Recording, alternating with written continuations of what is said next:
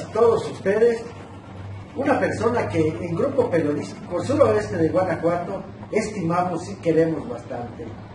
Fuera de su actividad como profesional de la política, porque el señor ingeniero José Herandi Bermúdez Méndez es eso ya, profesional de la política.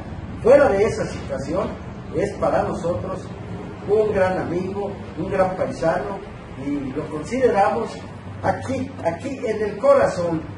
Tantos y tantos años, ingeniero, eh, déjenme decirles, amigas, amigos, que el Grupo Periodístico Suroeste de Guanajuato casi, casi nace con la carrera política del ingeniero José Heraldo Bermúdez Méndez, por allá en los años del 2003, nosotros nacemos en el 2002, el ingeniero ya en forma oficial como diputado federal, nace en el 2003, pero ya desde antes lo veíamos bien movido por ahí eh, en las fuerzas juveniles del Partido Acción Nacional.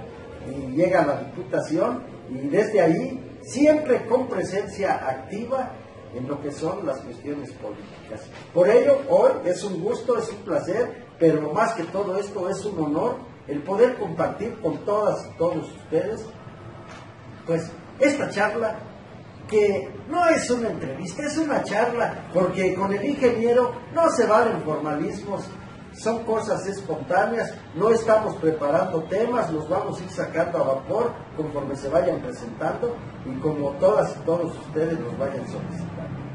Y pues entrada, ingeniero, buenos días, ¿cómo está? Un gusto acá. Quiero saludarlo. Igual. Le faltó decir algo. A ver, dígame. Que fuimos vecinos durante muchos años. Ah, sí, también, también. En la calle de Orizaba. Eh, ahí nos tocó cuando nosotros de niños empezamos a jugar fútbol y que usted todos los días por ahí pasaba a su, a su casa y que nos veíamos para ahí. Me tocó conocer a sus hijas, muy, muy, muy pequeñas, muy pequeñas. Nos tocó a la señora Rosita este, nos tocó conocerlo durante muchos años. Con ¿Qué, qué, qué modelo era el coche que tenía aquel coche grandote? era 75, Un coche grandote que venía el carro. Ahí viene el licenciado Camarillo, recordamos.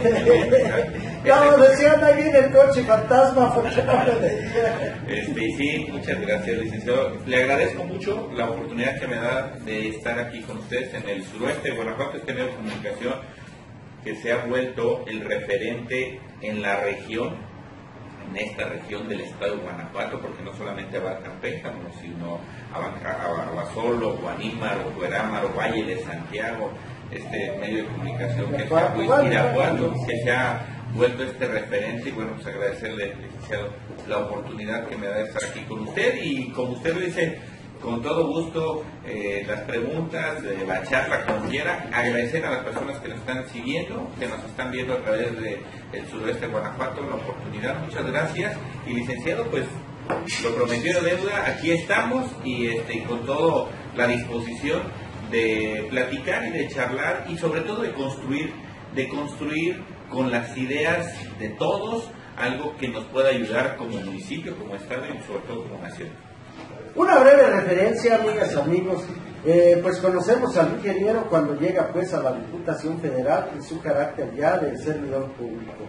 Posteriormente arriba a la presidencia municipal de Pénjamo, eh, aquí pues haciendo un pequeño paréntesis, con un arribo que vino a cambiar por completo la idea, la concepción que se tenía sobre las formas y maneras eh, de administrar un municipio.